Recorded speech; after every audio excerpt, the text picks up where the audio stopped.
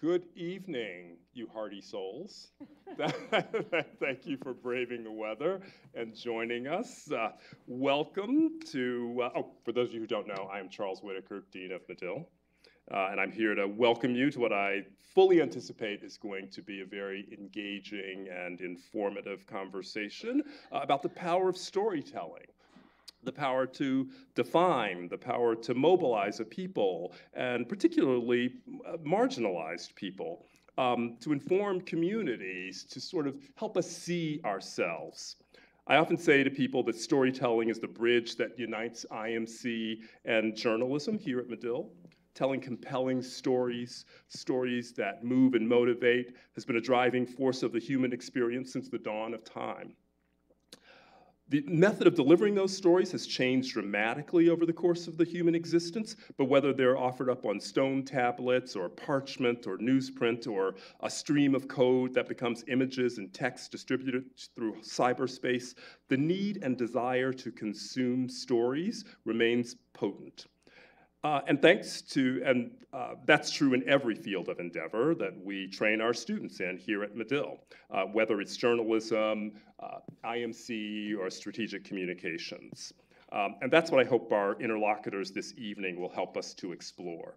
I could not be more delighted uh, than to have the opportunity to listen to these three amazing individuals, and so allow me to introduce you to them now.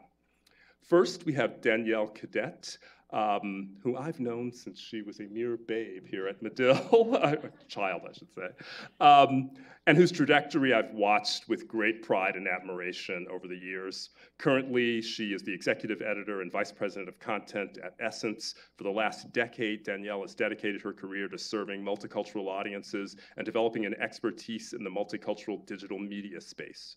Prior to joining Essence, she served as editorial director of Netflix's Strong Black Lead, where she developed the company's editorial strategy for its marketing efforts, targeting black audiences, leading campaigns for films like The Harder They Fall, Malcolm and Marie, and more. Prior to that, she served as Vice President of Content Strategy and Development and Managing Editor at R29, uh, Refinery 29 Unbothered, a digital community catering to black millennial women. She joined Refinery 29 from ESPN, where she launched The Undefeated, a digital destination that explores the intersection of race, sports, and culture. She oversaw daily editorial opera operations as daily editor deputy editor, sorry. Prior to ESPN, Danielle uh, worked at the Huffington Post, Black Voices, where she led breaking news coverage of several national stories, including the Trayvon Martin murder case uh, in Florida and the fatal shooting of Michael Brown in Ferguson, Missouri. Danielle, as I alluded uh, to earlier, holds bachelor's and master's degrees from Medill. She's been included in the Creative Collective's inaugural 2020 creative class, Ebony's list of uh, dynamic black women uh, and editors in new media, uh, the Big Leads 40 Under 40, Behind the Scene in Sports, and Folio Magazine's Rising Stars. Next, we have Dr. Marcus Collins, Marcus is an award-winning marketer and cultural translator with one foot in the world of practice, serving as chief strategy officer of Wieden Kennedy, New York, and one foot in the world of academia as marketing professor at the University of Michigan's Ross School of Business. His deep understanding of brand strategy and consumer behavior has helped him bridge the academic practitioner gap for blue chip brands and startups alike. He's a recipient of the 40 Under 40 Award from both Advertising Age and Crain's Business. He's a recent inductee into the American Advertising Federation's Advertising Hall of Achievement. Most recently, he was recognized by Thinkers 100 and Deloitte among their class of 2023 radar list of 30 thinkers with ideas most likely to shape the future.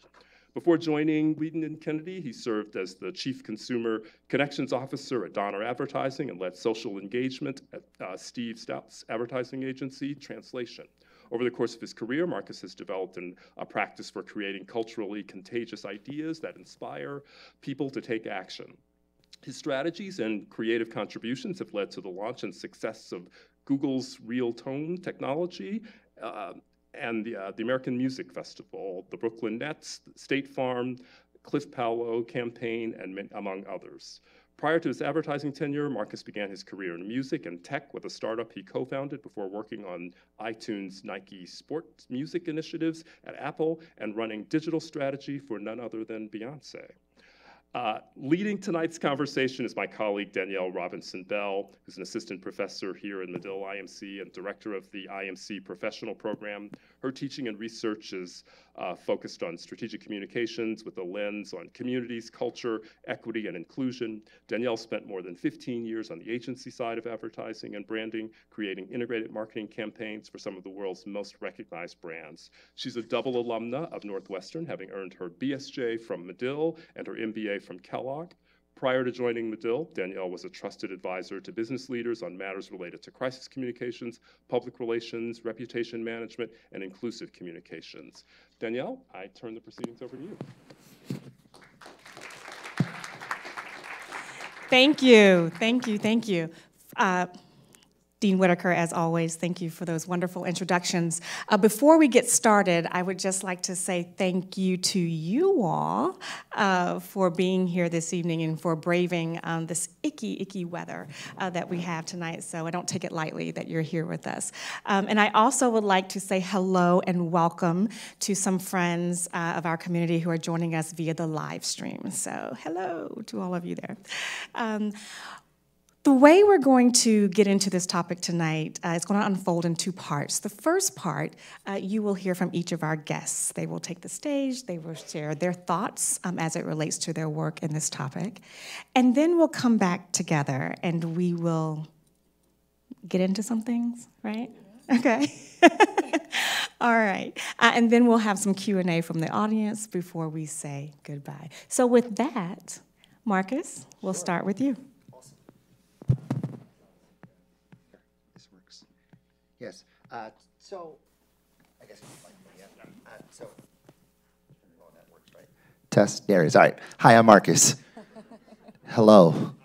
Thank you. Hey, there we go. It's just rude. Hi. Hello. Um, I'm really excited to be with you all this evening. Uh, so thanks so much for, for, for braving the weather and, and, and, and, be with us. And I have a little bit of time to talk, and I want to share with you an idea called legitimation.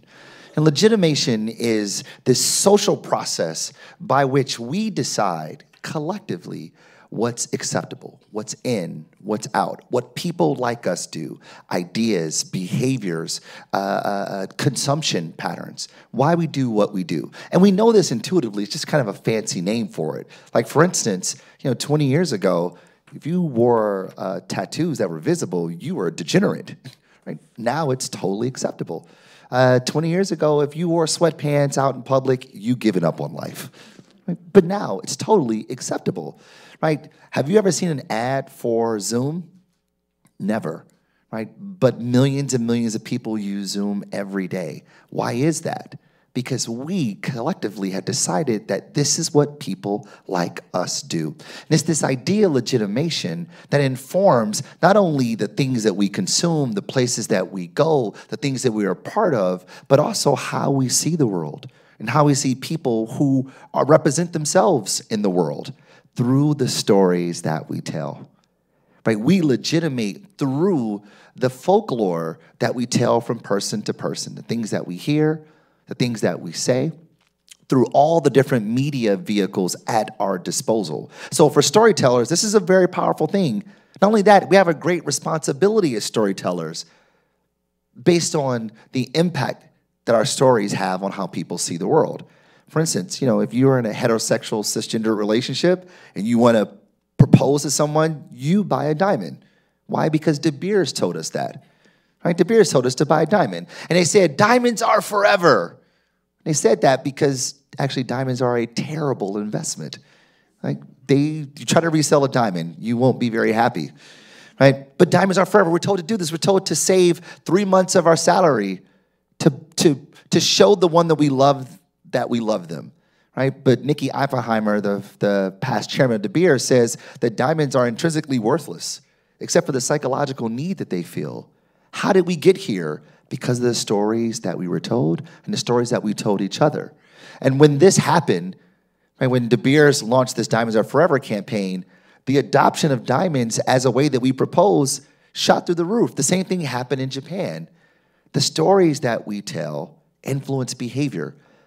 It's a Superman powerful thing as you think about the people in this room who fashion themselves as storytellers. Marshall McLuhan says it best that all media works us over completely. They're so pervasive in their personal, political, economic, aesthetic, psychological, moral, ethical, and social consequences that they leave no part of us untouched, unaffected, unaltered. They change the way we see the world, right? I mean, our perception of what beauty is is shaped, pardon the pun, by the stories that are told, right? The way we see people, like our public pedagogy, is shaped by the stories that we're told and the stories that we tell each other. Right? Even when we think about gender roles are established by the stories that we tell and the stories that we tell each other. Right? I have two daughters, Georgia, the eight-year-old, and Ivy, the three-year-old. And during COVID, I got a chance to watch their shows with them. That was kind of the benefit of that. I spent a lot of time watching the shows that they watch. And every show that my daughters watch, especially the eight-year-old, every female character was persuaded as a was was, per, was presented as a princess, some damsel in distress waiting for her to be rescued. And as I started to think back, I realized when we let Georgia pick her own Halloween costumes, they were all princesses. This is the first one. I thought to myself, oh man, the year after that, she chose Princess Leia after I introduced her to Star Wars. She chose the princess. Now, Princess Leia was a bad A, but still, a princess nonetheless. Then the next year, she chose Princess Jasmine. Like this, her mind has been conditioned on what to aspire to because of the stories that she's been told. Now, last year I had enough, and she went as Darth Vader. enough of this, enough of this, right? It's the stories that we tell. The stories that we tell help us decide what people like us do through the media that we consume the television, print, out of home radio, and the media of people. And that's a Superman powerful theme when we think about the discourse that we enter into on a day to day basis in person as well as the mediated technologies through zeros and ones. And this is a shameless plug. I wrote a book about this thing called For the Culture that goes deep into it, but we'll talk about that later. Thanks so much.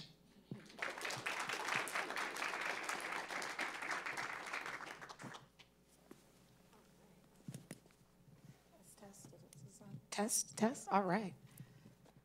Um, well, Marcus, I don't want you to have a conversation with my husband because I like my diamond. No, I'm, just, I'm kidding.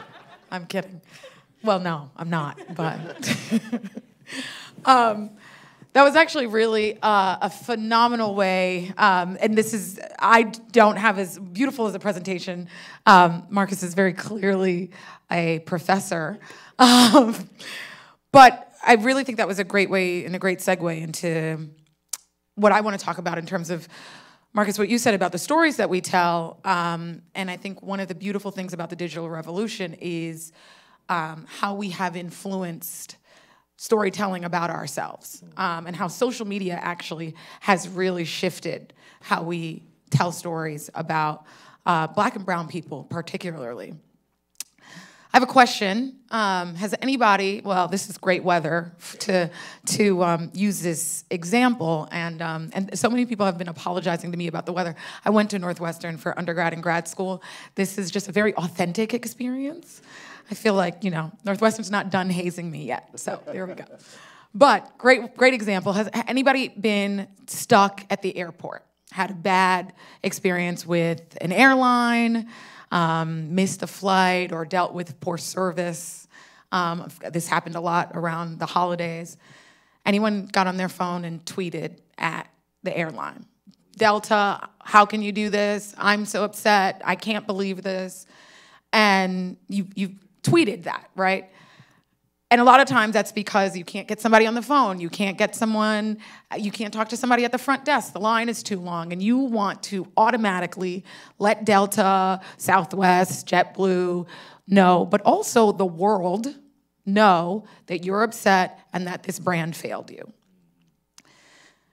going back to the stories that we tell, as far as that brand is concerned, they would like for the general public to feel like this flight went really well, these people had no problem. But now here you are interrupting that by taking out your phone and tweeting that you're really upset about this experience. You now have taken ownership over the narrative.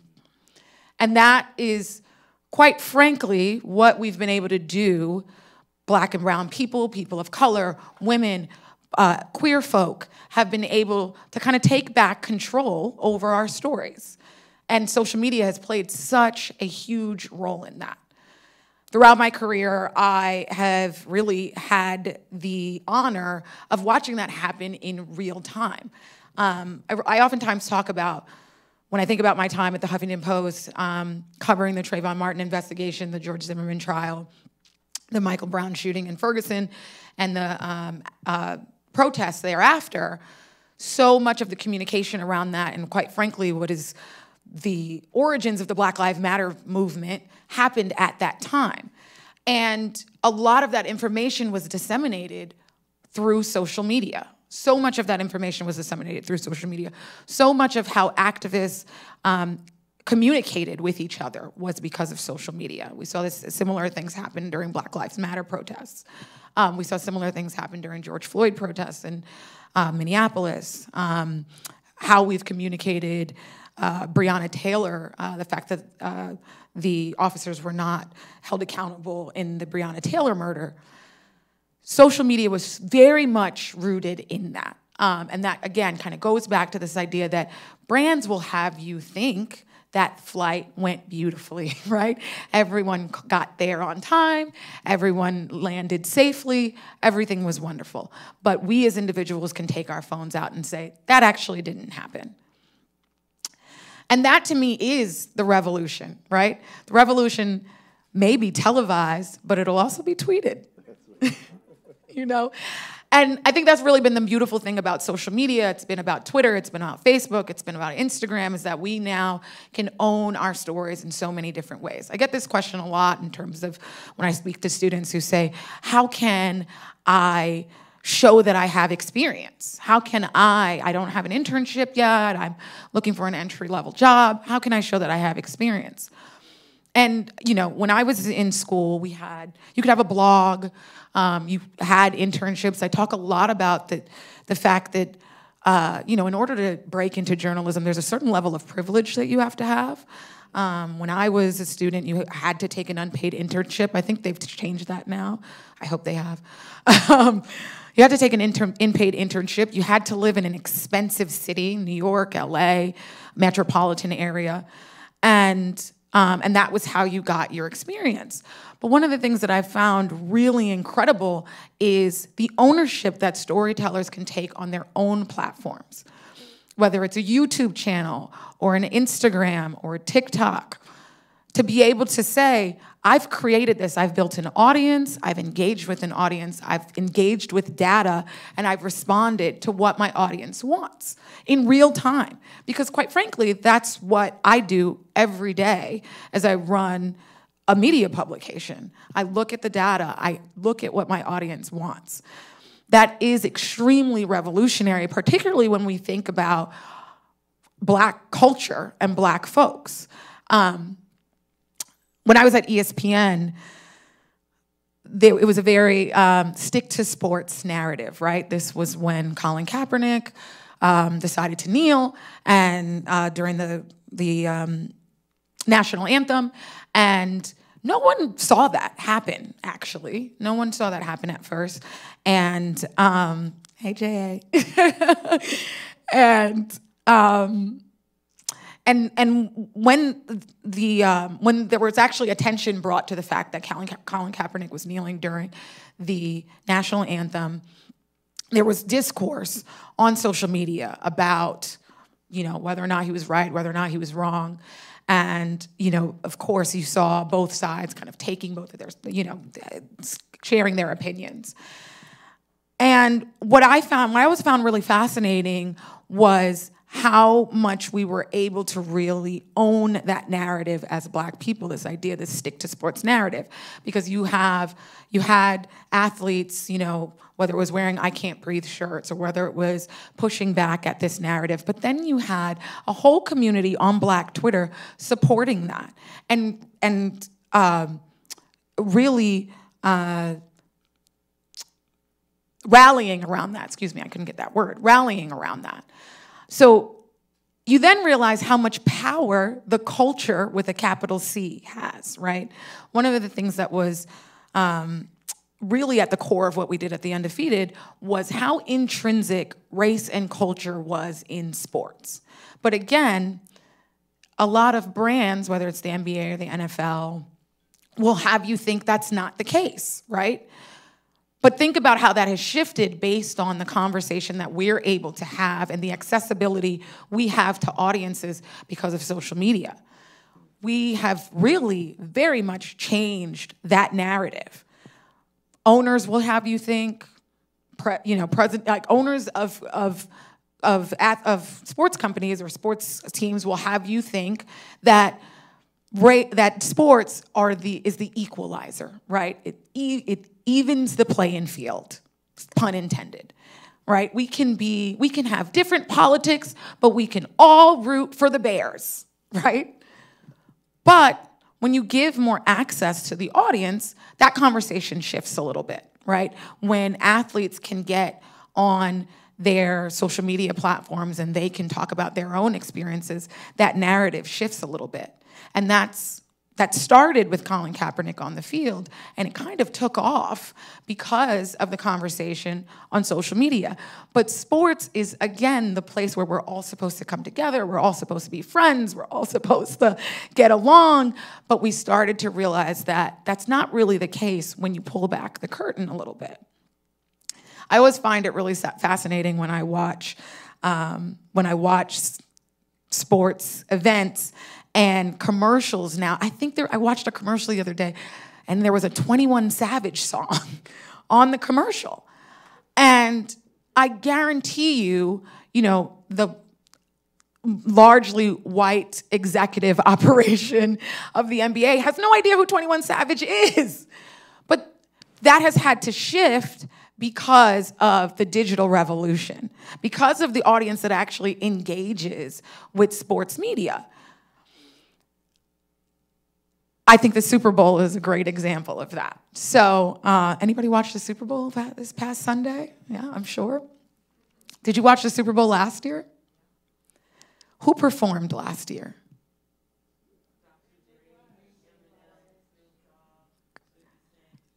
Great, there you go. All right. Who performed the year before that?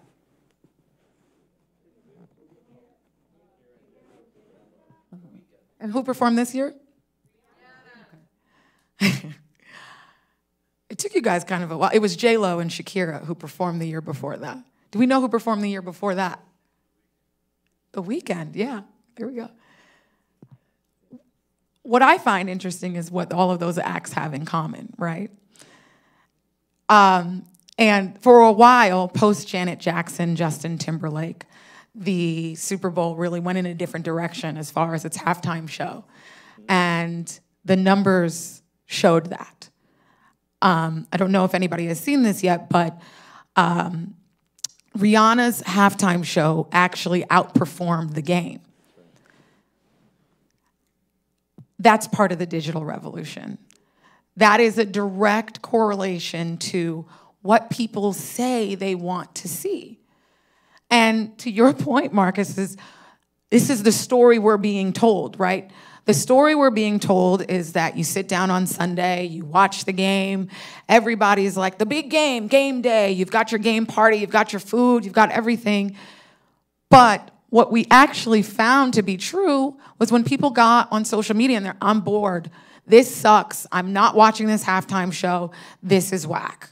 And then last year we heard this is the best halftime show we've seen in the longest time. California, hip hop is representing. And then Rihanna gets on stage, pregnant, and shuts it down. It's like 100 feet in the air, right? And of course, there was lots of discourse around how she performed, but we get to own how we interacted with that performance. We get to own that story. And so much of that is because of the conversation that we're able to have via Black Twitter, right? And I, you know, I know we're going to talk about this a little bit more, but I think Black Twitter has been such an interesting force um, when we think about the word revolution um, and how Black Twitter has really uncovered a lot of storytelling. Um, for me as an editor, I do reference social media very frequently um, to think through how the community is feeling, um, what stories aren't being told. Um, and I think that's really the thing about the word revolution, right? What's not being done, and how are we making it such that we're paying attention to those things? Um, I find that social media really does point those things out and bring those things to light, particularly when it comes to telling Black stories. Um, one thing that I've thought quite a lot, lot about in my in my role is how we think about Black womanhood and who gets left out of that story. And oftentimes it is um, Black trans women, Black queer folk, and I go went to Twitter really to to really investigate that um, and to dig into that and to um, to really see what was being said in the amongst the zeitgeist, amongst the community. And I've been fascinated by, you know, just the way that we interact with each other. I think about things like um, Megan Thee Stallion and the Tory Lanez trial. Um, and the and the discourse and the conversation that was happening about black women and protecting black women and violence against black women and who gets to be protected and who doesn't get to be protected and who owns that narrative and who doesn't what i found that social media does is it has widened the scope of ownership which has then um, widened the conversation I think there's a lot of conversation about violence against black women that uh, women that doesn't that uh, doesn't oftentimes um, encompass trans women, and I find that conversation most interesting on social media. I say all of that to say that the revolution is being tweeted, it is being Instagrammed, it is on TikTok. I think about the wellness space um, 15, 20 years ago was very white. And how that really shifted with black women on social media saying that, you know, black women do yoga, black women do Pilates. Um, I think about, I, I consume a lot of content about gentle parenting. And a lot of that content is served to me by white women. And that's who gets the platform, right? But again, that platform has opened up so much because of social media. And the stories that we tell have opened up so much because of social media. That, in my experience, um, intrinsically relates to the data we look at in order to be successful. Traffic, how are we engaging with the audience? You can see that in you know, almost immediately. If we're doing something that doesn't resonate with our audience, we see that immediately. You can have this very, um, we can, I can post something on Instagram and get a comment of like, this is whack, boo, tomato, tomato, tomato, right? That's the, that's the, the three tomatoes. And I'm like, okay, this isn't, this isn't what the community wants to hear. But for so long, that was such a one-sided conversation and such a one-sided door. And so the revolution I think has very much taken place on social media. And we have and brands have had to respond. Brands have had to respond to what is being said on social media.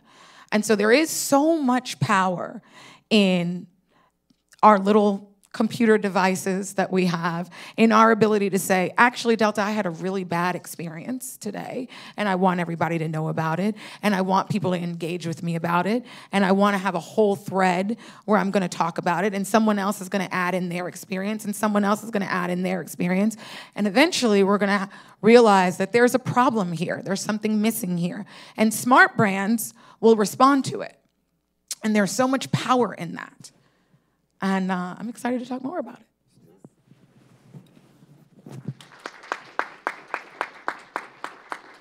Isn't working. There it is. There we go. Give it a minute. So, so let's talk about it. Yeah. Um, and I'm going to pick up a little bit where you left off. You mentioned brands, circling back to the work that you do, um, not only as a professor, but also at uh, a really big uh, agency, right? If and I heard both of you say, when we think about narratives and the stories we tell, the power, right, how powerful that can be. especially when you, when you think about us owning, right? Narratives, narratives especially around uh, black and brown people, right? So if you're a brand, or if you are a media publication, and if storytelling is this powerful and this influential, right? And this is at the heart of what you do, because you're a media publication, because you are a brand, then how do you think about, how should the brand, how should the media publication think about responsibility when it comes to this? And then accountability. Talk to us about that. Well, I don't think it's it's not discussed enough. We think about the sway, the influence that stories have, and we having a platform, as you mentioned, a broad platform to communicate on behalf of our brands, our entities, or organizations, then we we bear a level of responsibility in what it means for people. For instance, um, I'm from Detroit, born and raised, holla. Um, and I grew up with a very specific relationship with the police. I loved the police as a kid. Why? Because they had uh, an R&B band called the Blue Pigs. And they would come to my school and they'll play our, um, uh, Motown songs mixed with like the hottest R&B at the time, right? So you'll get like My Girl, then they'll go into Can You Stand the Rain? It's like I was like, I love the police. They're the best, right? And the stories I was told as a child was that the police are here to serve, to protect you. And that was the, the narrative that was played in my mind. That was the legitimation that I had built in my mind on what the police were until I started seeing other stories like Malice Green, right? Uh, like Rodney King, and of course, most recently, uh, George Floyd, or in every other instances we see.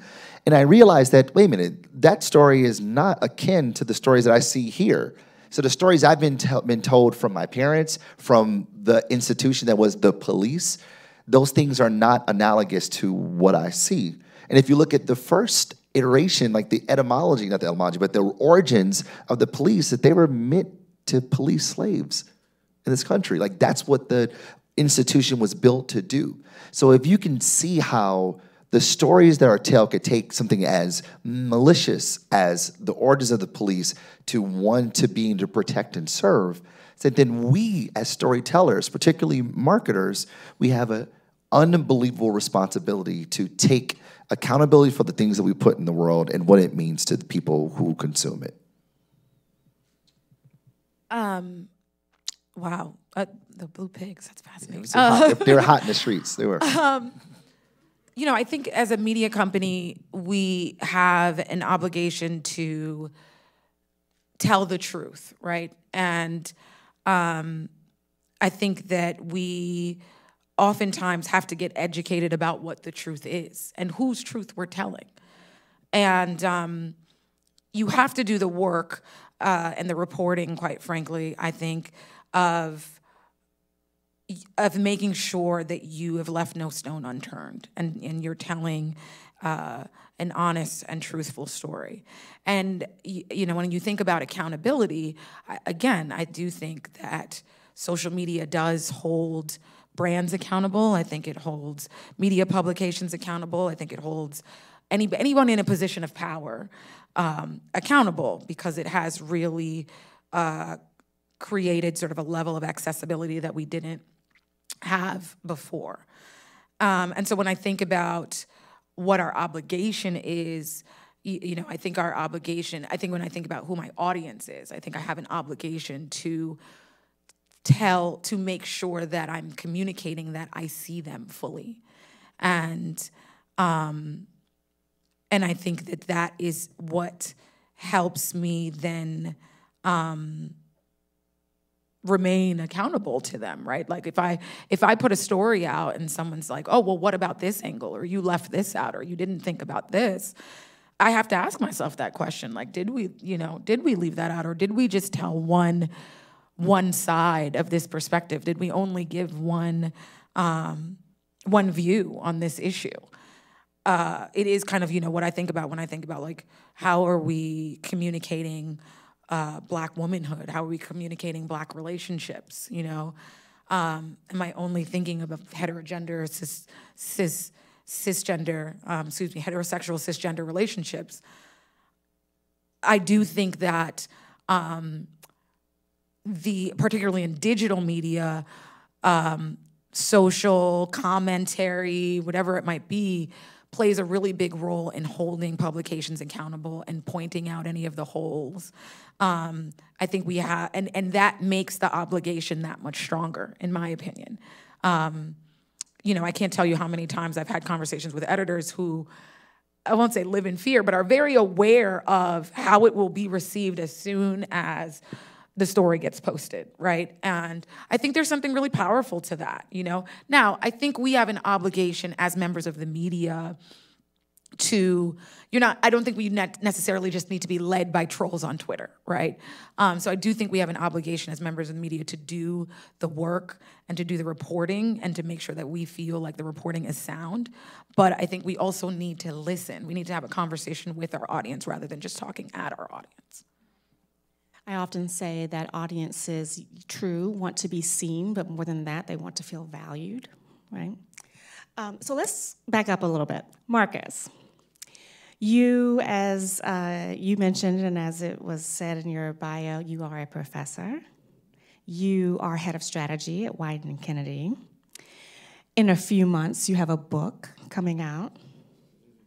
So you've done, and you've been in this space for a while right? I heard um, earlier today he had an audience with our full-time IMC students, and he shared a little bit about his uh, his journey. You've been in this space for a while. You've seen a lot. You've worked with a lot of brands, and your career actually started in entertainment. So, from where you sit in this space, we're talking about storytelling and and culture, right? What surprises you the most? I think what gets my attention the most, I'm not, I guess I'm not surprised because I know it, but what gets my attention the most is just how specific we are about the cultural characteristics.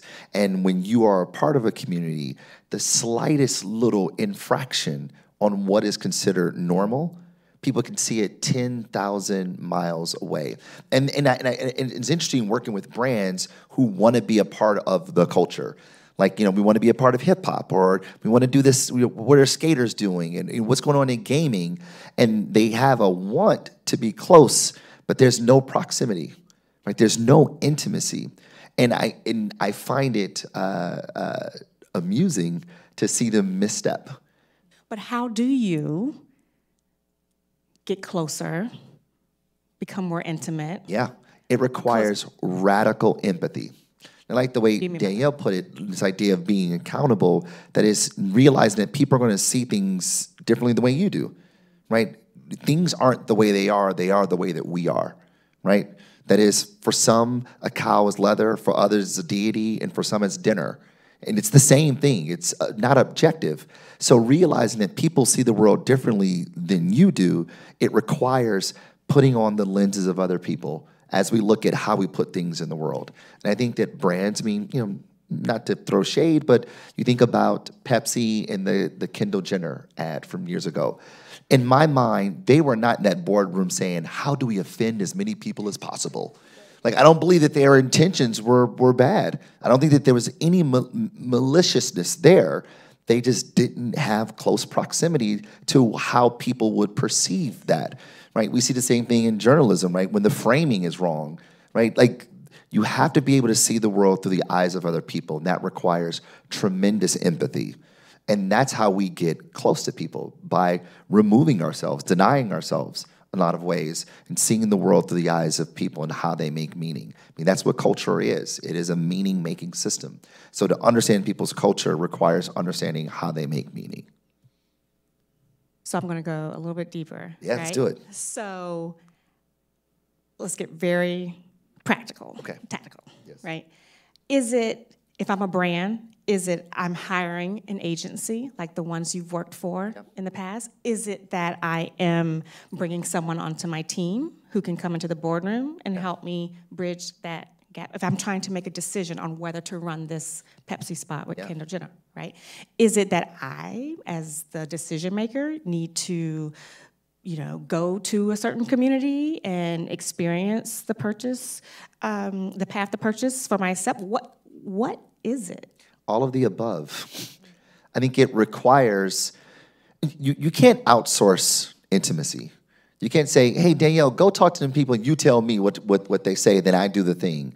It's like you have to go talk to people yourself, right? You have to go invest yourself in it. So, yes, you get an agency like Wieden+Kennedy to provide perspective that you don't have. Great. And we go out and we invest ourselves in the cultural cultural contexts of where these people live, breathe, and live out their lives. And we go, oh, this is how they behave. This is how they see the world. This is what they believe. This is what their artifacts mean, what their behaviors are normative. And then we take that back and say, okay, considering what we found about these people, here's where the brand can interact. And then we share that with the client. And the idea is like bringing them along on the journey. But if clients really want to know, you come out there with us. Come, come do the ethnographies with us. Come shake people's hands, look at people in the eyes, and see them not as consumers, not as machines that eat messages and crap cash, but see them as real life human beings that navigate the world through their cultural their, their, their cultural governance. And then sure, have people in the room who understand those people. If they're from that community, awesome, even better. But ultimately, what you want is people who are willing to invest themselves in the, the walks of lives that aren't their own. I like that.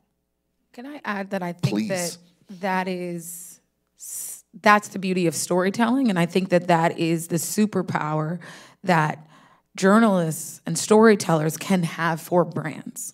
I think that is why editorial storytelling is oftentimes so important for brands. That actual authentic storytelling that doesn't feel like an ad, that doesn't feel like a commercial, that actually feels like it's entrenched in the community and authentically and organically part of the community is so much more um, productive and just does a much better job of of moving of, of, of, getting of getting that engagement i mean i think it's oftentimes why we look forward to like super bowl commercials right because they're so much smarter they seem like they just we engage with them so differently. They're not, they're, they're, funny, they're clever, they're so, they, they seem so much, like so much more went into them. And I do think that those are the worlds where journalism and marketing can really fuse and meet really beautifully. And I think the brands that do the best job understand that. That's a really great point about the Super Bowl because here's the moment where the biggest media moment in the country, where a third of the country are watching a program. And the idea is that people get to see themselves in the game, right? Like I remember watching the "What's up" ads from back in the day, and like me and my friends used to do that.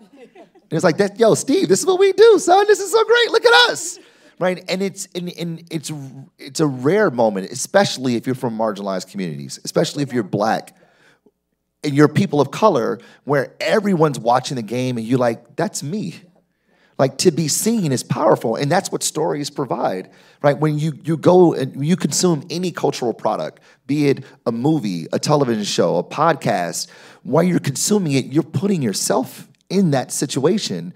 And stories have this unbelievable power to invite you in and allow you to see yourself, no matter how specific the story may be about that person, we're able to transfix ourselves into it. And good marketers, we don't call ourselves advertisers, we call ourselves storytellers when we're at our best because that's the power of stories. And the expectation at Super Bowl is that, oh, you better come with it. Right. And I better be able to see myself in it. If not, psh, whack. Right, right, right, right, right. So, so Danielle, in your new role at Essence. Congratulations. Congrats. By the way, that's so huge. Yes, yes, yes, yes.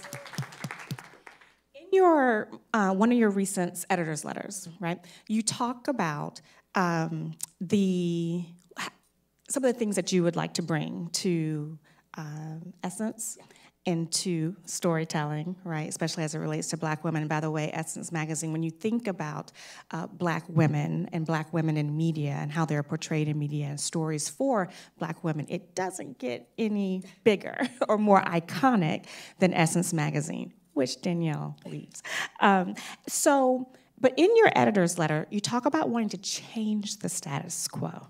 So we've been talking about storytelling and narratives and owning it and it's powerful and what have you.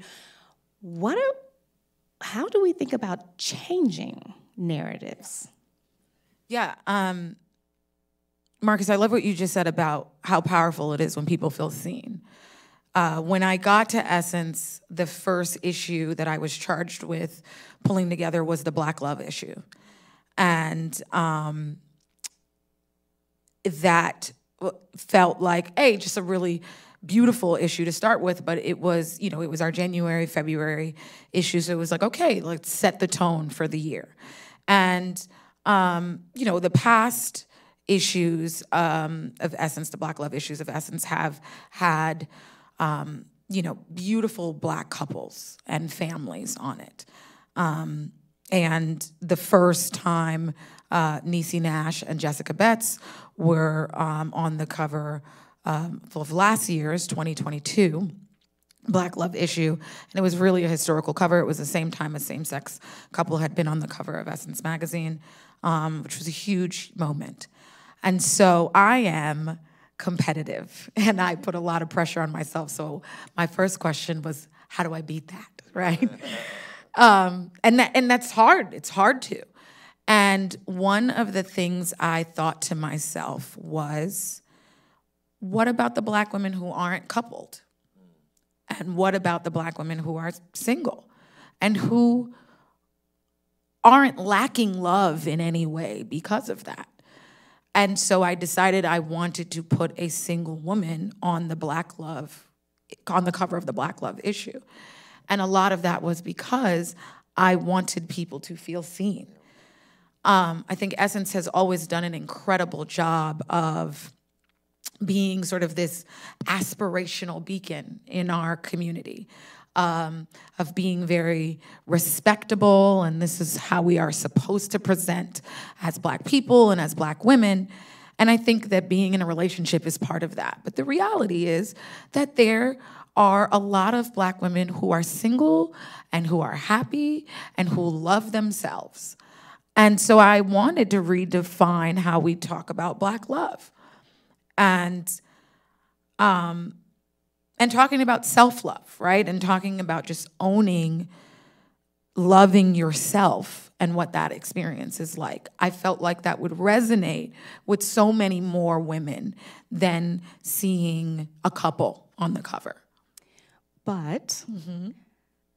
don't black women deserve love. And, I, am I'm, I'm quoting what I've yeah. seen Absolutely. on Twitter. Absolutely. Whenever um, an image comes across or a, a, gets tweeted out or a brand, um, you know, includes any sort of visual or narrative, uh, right? That yeah. that um, that involves a uh, black woman, whether she's caring for a family or whether she's uh, by herself mm-hmm. and maybe um, uh, portraying, you know, self-love or symbolizing self-love or what have you.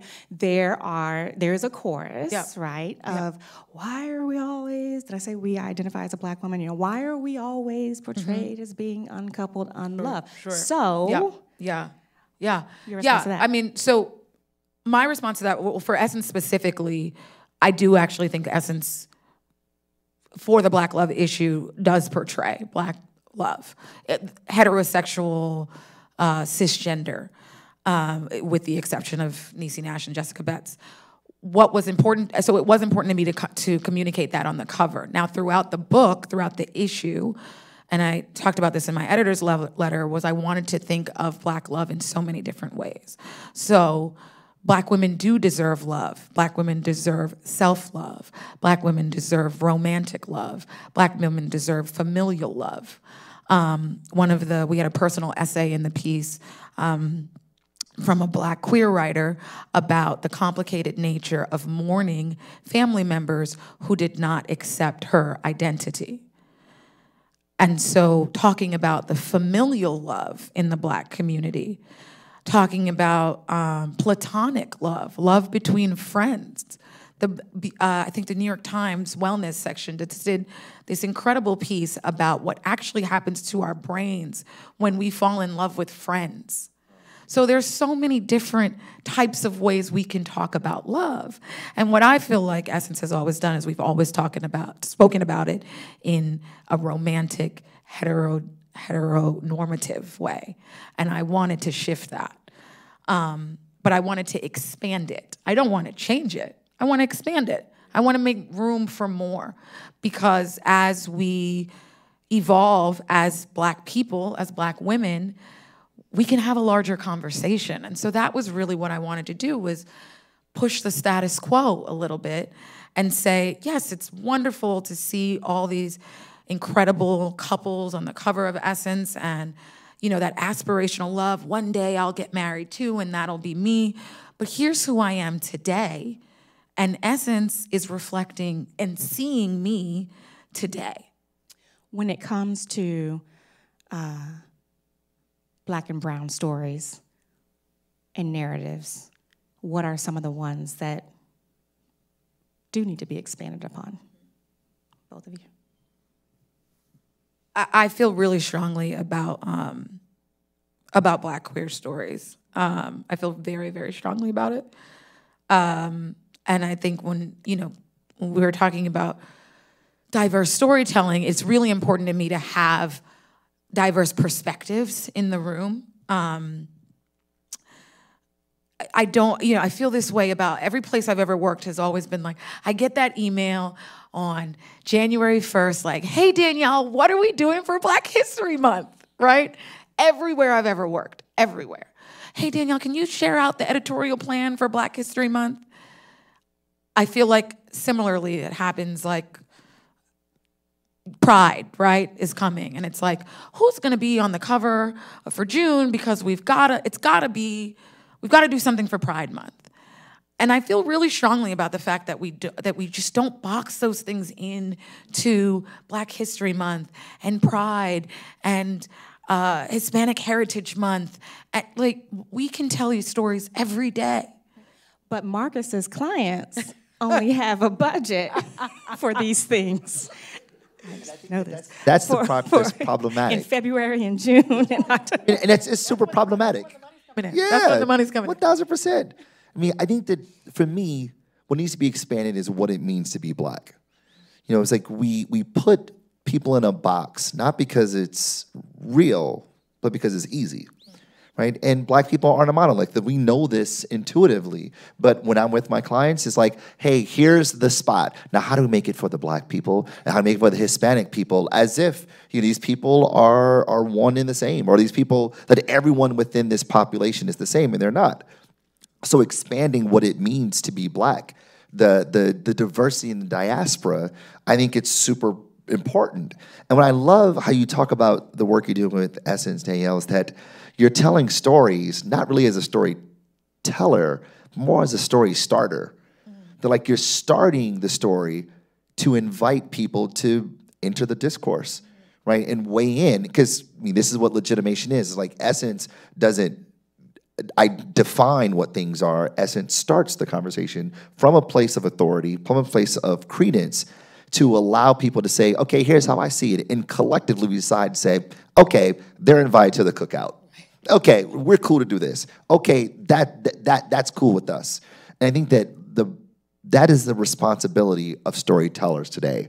That we start stories from a place of authority and credence, well researched, well well factualized, and invite people into it so that we can expand our perspectives as they currently are. Sticking with you for a second, can we talk about Beyonce? is, now the time that we?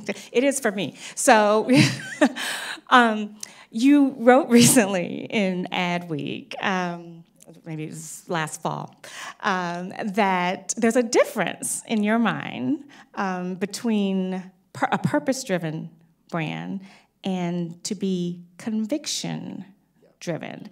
And this is something that, first of all, please explain the difference, but and also how you feel Beyonce uh, illustrates that difference well. And then the next question is, what tour stop are we going to? The Renaissance tour. So maybe someone, I know someone I, out there got a cold.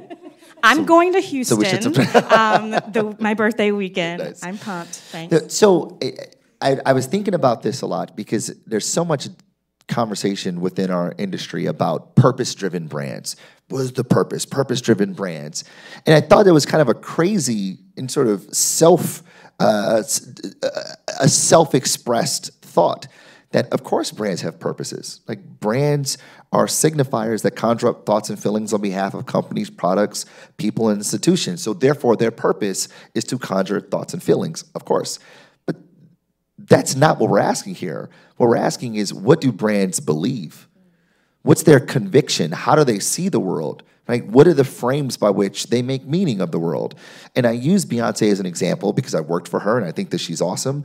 But Beyonce's conviction has been clear since the moment we met her in 97 where she said no no no no no no i mean everything about beyonce has been always about women's empowerment full stop whether it was pay my bills to the left get information who runs the world and now you know you ain't gonna break my soul everything about beyonce has been about conviction and there's a lot that we can learn from that about brands that if we are convicted as a brand whether you're a cpg company qsr etc then it becomes very clear the kind of stories that we tell and for whom we tell these stories and for whom we serve and for whom we have an obligation to help.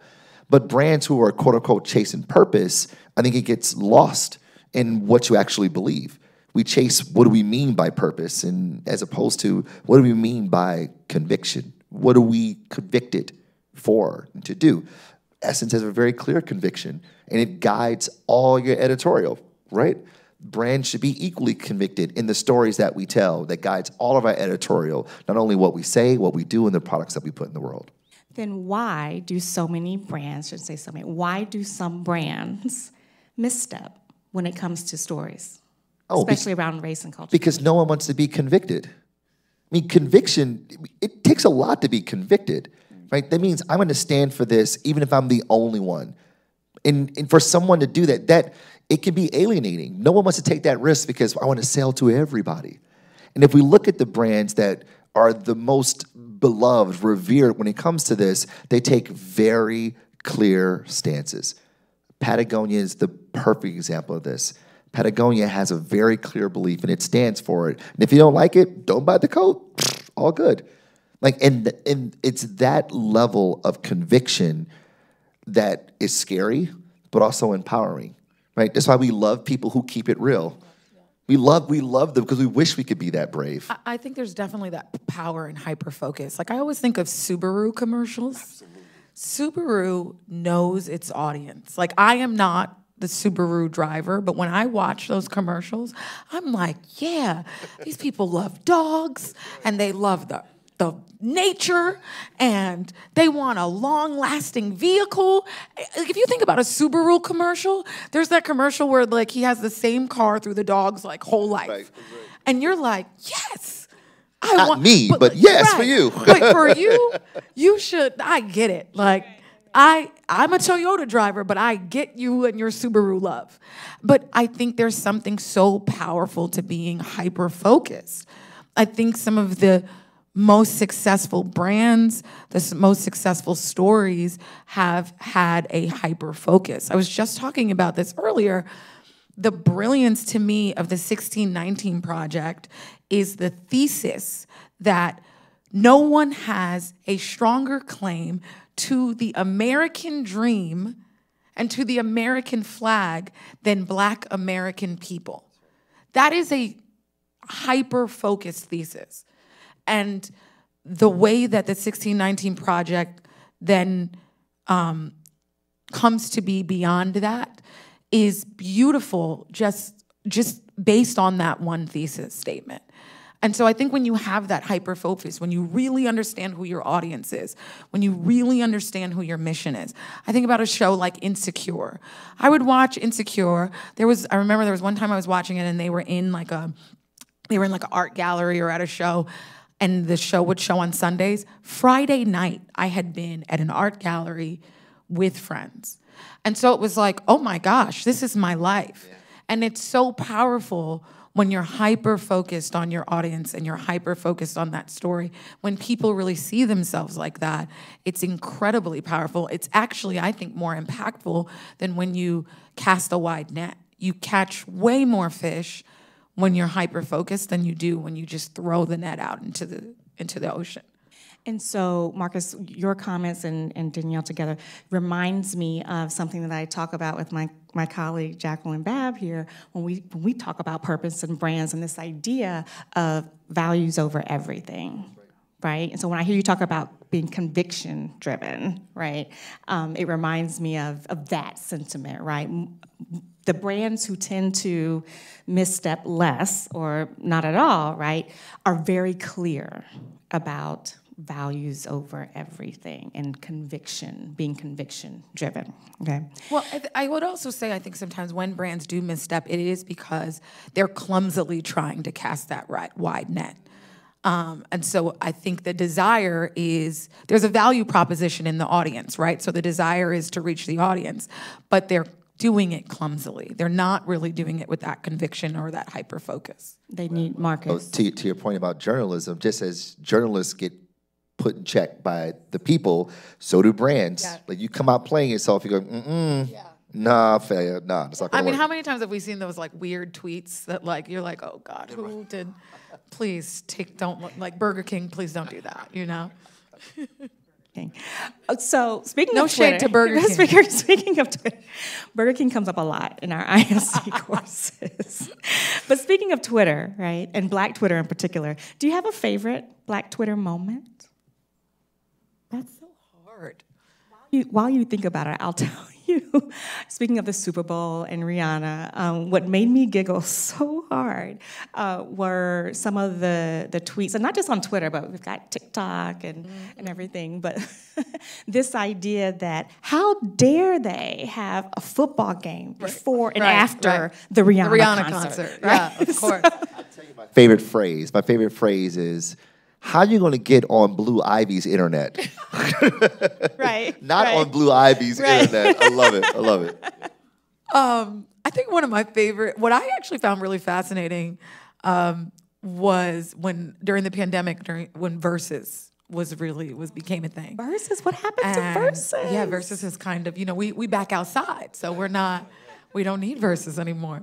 Um, I thought Verzuz was so fast. It was fascinating to me. It's the the evolution of it, how it started on like IG Live, and like folks didn't know how to use it, and and Teddy Riley. and Teddy. So that's and and it was. I remember. I remember during the pandemic, I would put Verzuz on. I was singing the songs when it was Babyface and Teddy Riley, and how mad everybody was when Teddy Riley came through trying to do too much, right? Because Verzuz was just like bare bones. Take your phone, play some songs. Let us rock out a little bit in our individual apartments and houses and spa- and homes. And you came with speakers and a DJ and a hype man, and Black Twitter was not having it. And it was such a, it was, it's interesting given the fact that Verzuz, I think the last Verzuz was like in um, Madison Square I was Garden. just about to say, how far have we How come, right? come? But in the beginning, it was just like, dog, just get your, just play, play just, songs. just get your, you know, just play the music and talk, give us a little bit of background, but let us just enjoy the music. And I do think that Black Twitter moment, how mad Black Twitter was at Teddy Riley for like ruining. We had been looking Became a forward meme. to. I mean, if you take yourself back, then You know, like this. right? If you take yourself back to that moment, like it was like we you were looking forward to Verzuz because it's like what else were we doing? I could do the second. They had to do a second one. we'll be and back. I, and let me tell you, I was mad. I'm a big Babyface fan, so I was ready to rock out. And Teddy Riley ruined my night, and and Black Twitter let Teddy Riley and his hype man know. Like, please take your speakers and your DJs somewhere else. And that was the thing about D Nice, right? Like D Nice just got on IG Live and just just did his thing. And it was so simple and it was so just bare bones and lovely. And I love that Black Twitter was like, don't come with all that. Just give us the music. I mean, black people, black Twitter is the conscious of the predominant black culture. Yeah. And that's really, really powerful as we talk about this idea of keeping people, uh, make holding people accountable. That the, the technology that we have today allows for the conscious to decide what's acceptable and what isn't. And when you are out of line, you get fried. Get fried. You get, but that's what's so beautiful about Exactly. social because for so long we didn't have that. Like brands and editors live in fear of Black Twitter. Like sometimes people are like, "Oh, what is Black Twitter gonna say?" I was just about to ask Marcus, is this, did this come up in any, did it, does it come up in your conversations with clients? I mean, absolutely. They're like, hey, are we gonna get in trouble for this? Are people gonna come at us for this? Like, are they gonna get dragged for this? Sometimes, maybe. And, and, but the thing is, that's the truth or the case for everything. Yeah. I mean, anytime that you you can have 500 followers and you post something foul and someone picks it up, you're gonna get fried. Fried. And, I- and I think that like that is the power of of, of social. Right. That's the power of, of people that we collectively decide what's acceptable and what isn't. And think about how that has shifted the narrative and the storytelling, right? So even the fact that that conversation is happening now shifts how the story is told. This this concern like are we going to get dragged? Are we going to get fried? So then there's a challenge to do it better, do a better job, tell a better story, tell a more thorough, holistic, do more reporting. Make sure you ask another question, get one more source so that you don't get dragged. It really does change the way we tell stories. It, okay, so then that is a lot Yeah. of response and reaction to a group of people on a social media platform who may or may not be one of your audience members or one of your key stakeholders. Right? If you're a brand, you're gonna pull the product because Black Twitter said you did a thing wrong? Do we know if if this if this um, if this backlash, right? Do we know who's Yeah. behind it for real? And and where I'm going with this, or what sort of I've been thinking about this question for a really long time because back in June, forget if it was this June or last June, but Juneteenth in the Walmart ice cream, mm-hmm, right? Mm-hmm, mm-hmm. And they came out with a statement, they pulled some of the product, but my biggest question was the ones who were so upset about it, were they Walmart shoppers? Well, I suppose that's the power of culture in that people don't live in isolation like I'm a Walmart shopper. Well, no, I'm also a part of this family. I'm a part of this fraternity. I'm a part of these communities.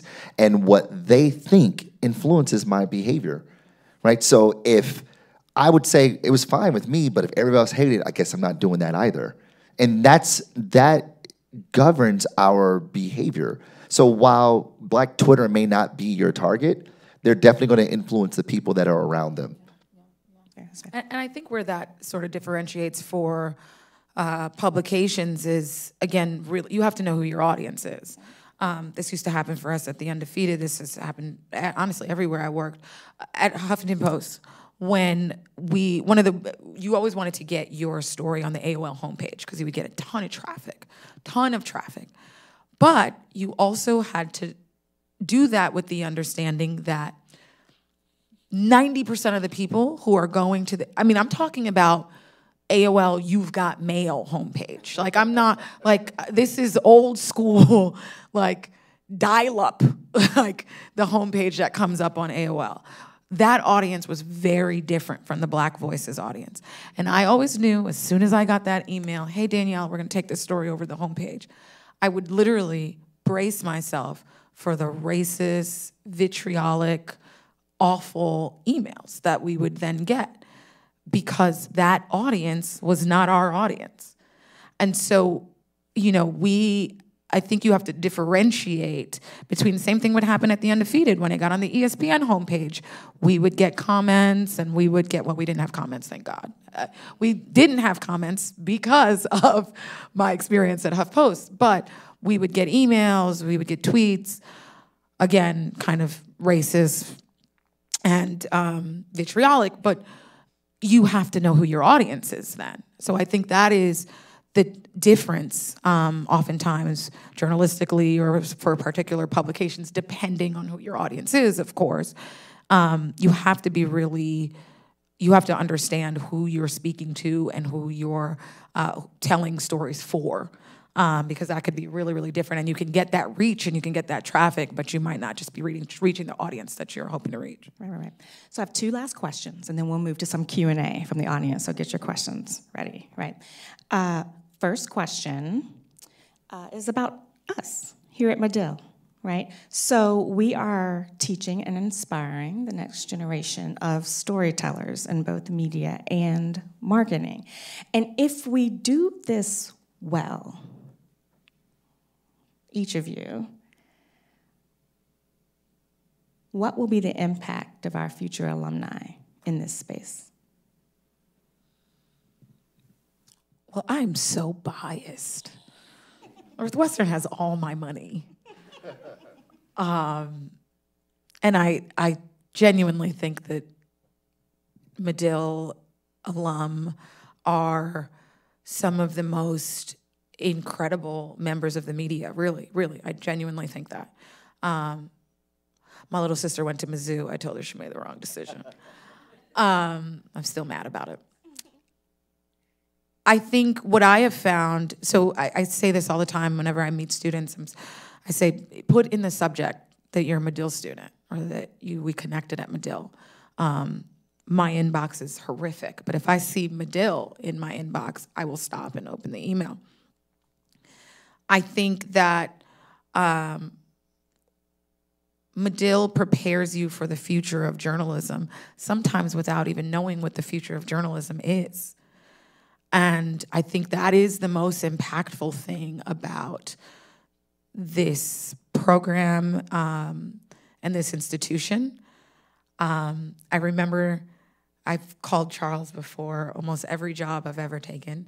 And I think what Charles has always challenged me to think about is where is this publication going? What is this? What's next for this company? Um, and I think that graduates of this university of this program are, poised for the future in ways that nobody else is. Um, it's really an ever changing industry. And, um, you know, I think about what journalism was when I was a freshman to when I graduated undergrad to when I graduated um, and got my master's. It was so different every time, and what it looks like now, it was so different every time. But I've always felt so uniquely prepared for that. I've reached into, you know, the I've reached back into my mind and and gone back to classes that I was in. I've gone back to Karen Springen's class in my mind. I've gone back to Charles's class in my mind. I was telling Charles how I worked in digital media for the last 10 years. I wasn't actually ever expecting to work in print. And so now here I find myself right in the green room looking at layouts and hearing Charles like, this dangling widow at the end of this, get rid of this. And so, you know, preparing myself for my future in ways that I didn't even know were possible. I thought I was walking away from magazine forever. Um, and so when I think about where the industry has gone, I do feel like Medill graduates are, are poised to face whatever comes their way. And I think that's a level of excellence that very few other schools equip their students with. Right. Marcus, for the future CMOs that are that we're putting out into the world? I think that there will be, uh, if we do this right, if you all do this right, there'll be more voices, more diverse stories, better representation, and people will feel, feel seen if we do this right. And I think that uh, every professor in this building has a responsibility to do that. Right. right. Okay. Last question, and then we're coming to Q and A. Finish this sentence. I'm black, and I'm here for it. black, and I'm here for it, for all of it. I'm black, and I'm thriving. Thriving.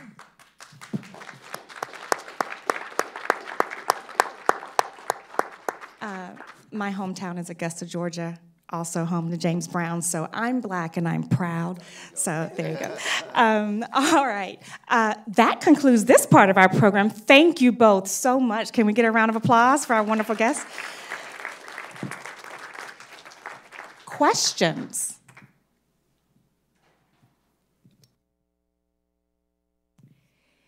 Uh, I I think you'll agree that journalists are storytellers.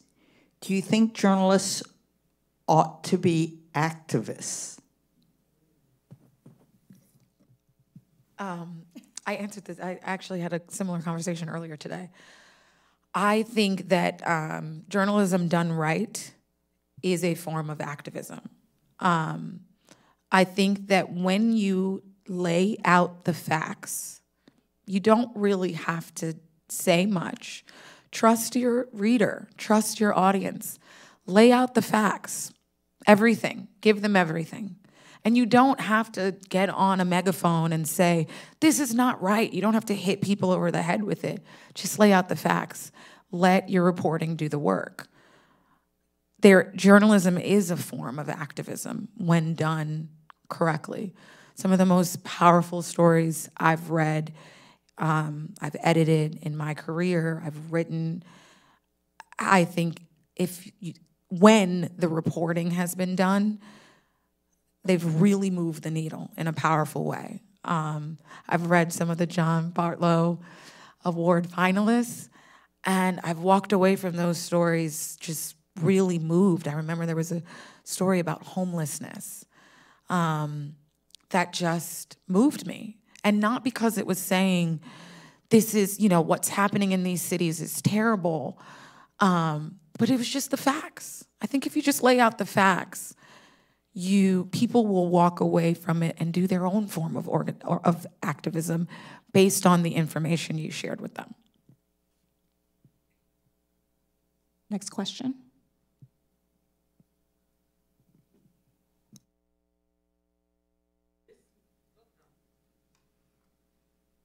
This may be more of a comment, but I'm wondering what are your thoughts about the sacredness of Black American culture in terms of the online media, in the sense of a lot of language is quickly being appropriated, used, and disseminated online, and then also in real life.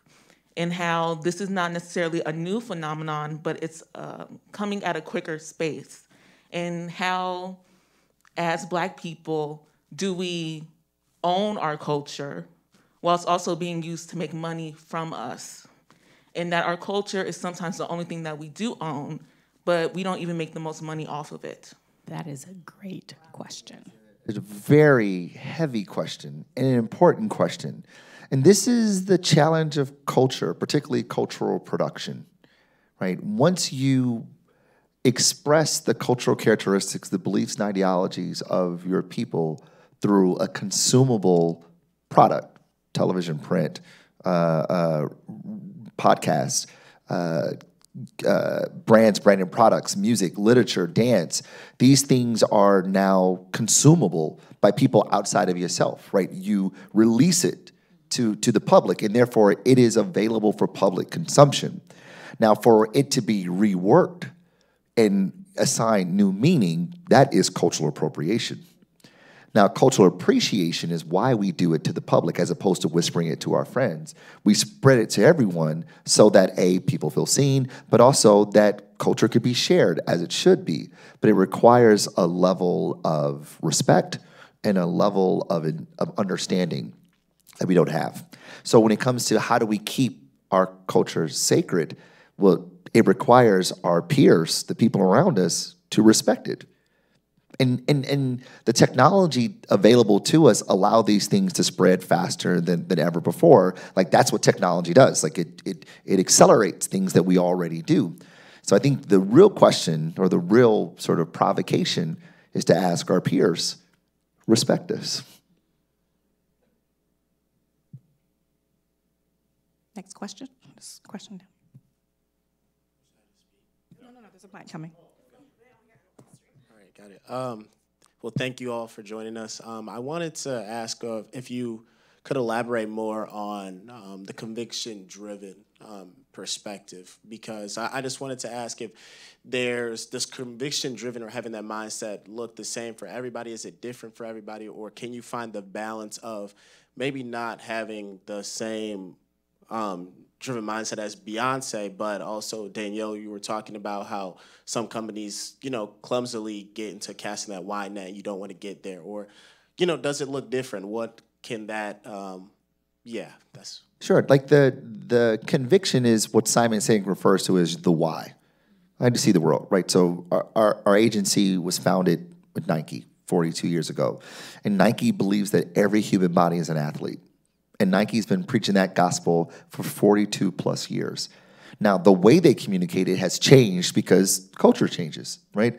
Con- the context in which they communicate it has changed, but the core conviction has stayed the same, right? Nike 40 years ago is the same Nike today, to just show up differently with the same conviction. Uh, Coke believes in, in optimism. They've been telling us that since I want to teach the world to sing in perfect harmony. Coke told us to open happiness. You go, yeah, Coke definitely do that, right? And Coke just so happens to be bubbly sugar water. It's soda. That's what they do, but it's why they do it that we we invest so much meaning into it. So the point is, your why should just be yours. It's not based on my why. It's based on your conviction. So long as it's true, so long as it's real, so long as it's authentic, because that's what's going to govern how you show up in the world from here on out. Oh, a couple of questions here and then uh, over here. Oh, Thank you so much for being here. So good to see you all, especially Danielle. So nice to see you. I, I have a question about this tension between um, the prolifera- pro- proliferation of social media and how it certainly can have an impact on editors and their decisions, but also the impact on cancel culture. Because I'm one to believe that often these editors, instead of really doing more work, they may say, I don't want to do this story at all. And so it has a chilling effect on some of the subject matters they tackle. So I'm wondering if either of you would comment on that in the, in the storytelling vein. Yeah, yeah. No, I I um I I experienced that a lot and I think that was why my response Marcus when we were speaking earlier was how it impacts the story, the way we tell the story.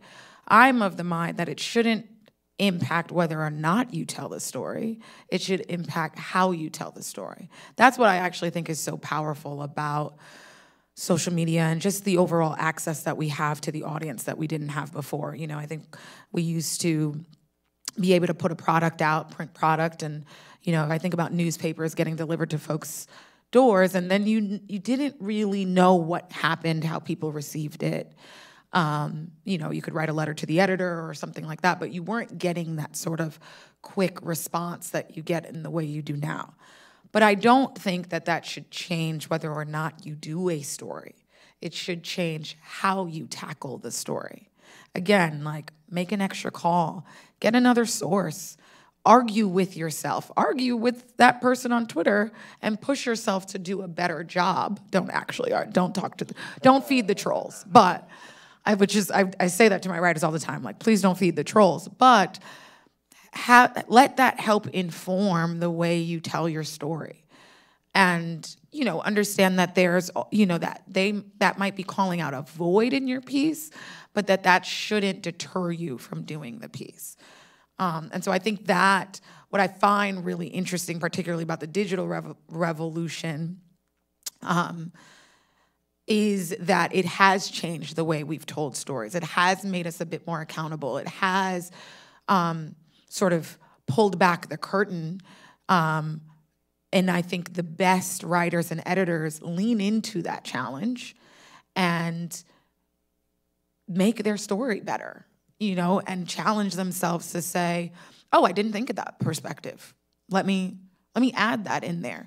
Let me do some research. Let me read a little bit more and add that perspective in there rather than being you know, rather than being afraid to do it.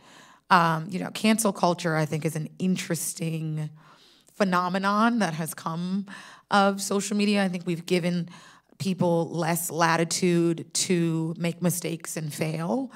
Um, you know, I think there's a difference between calling people out and calling people in.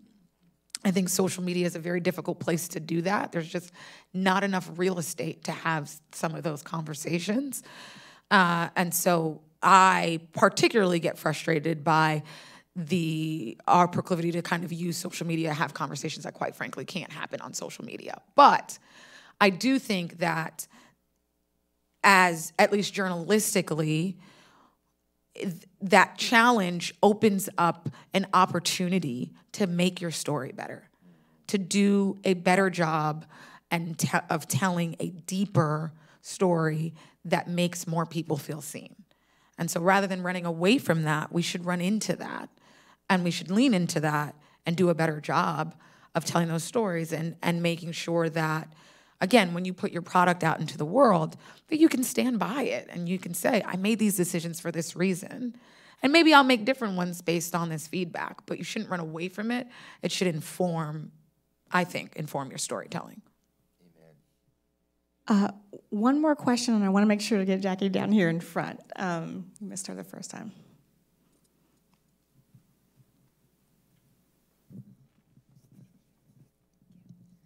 Hello, uh, thank you for being here. Um, so, Danielle, you kind of mentioned how Black women are portrayed in media in reference to Megan Thee Stallion and Tory Lanez case specifically.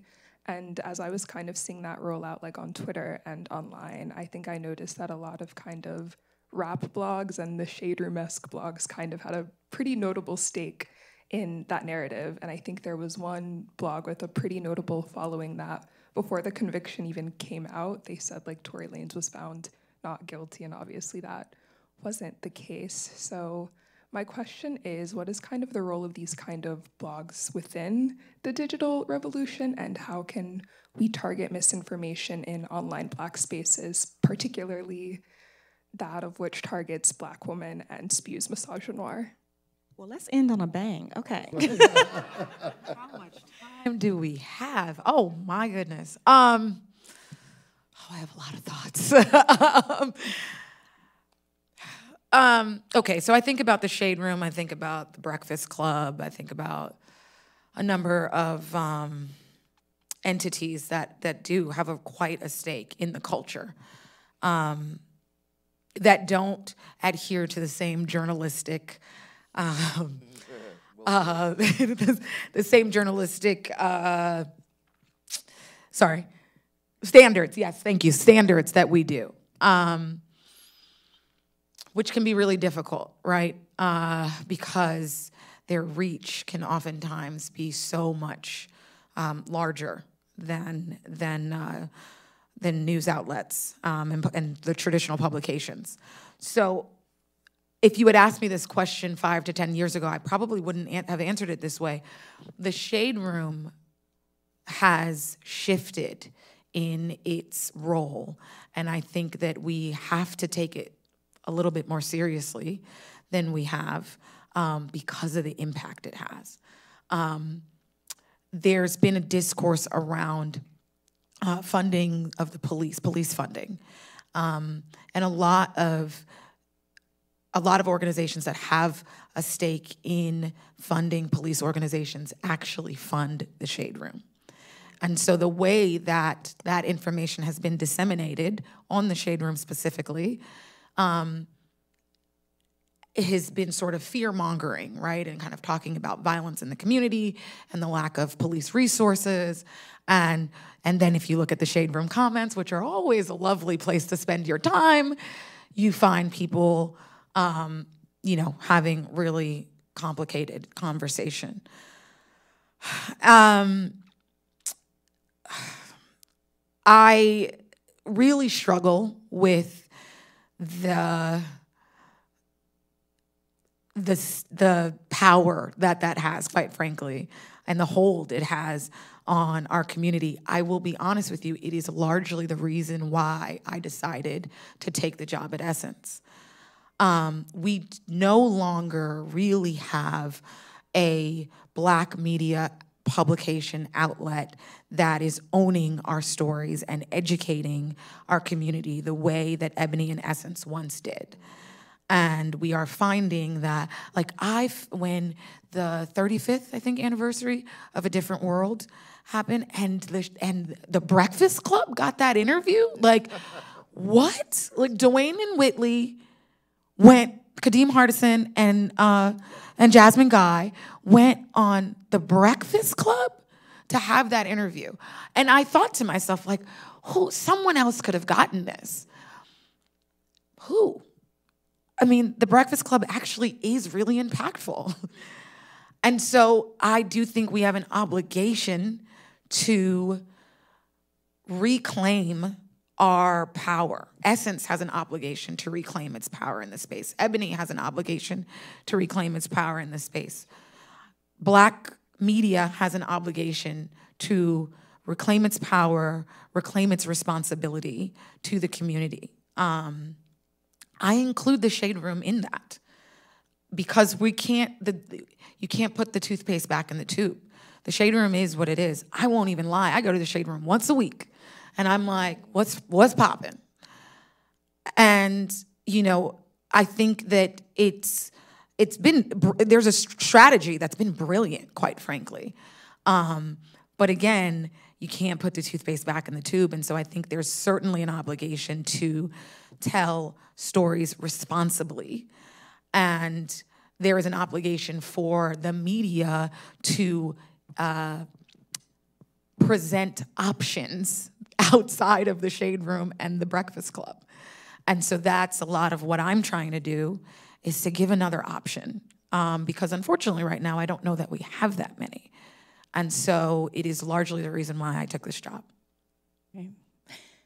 Danielle, Marcus, it's been a wonderful conversation. Thank you so much. Thank you so much.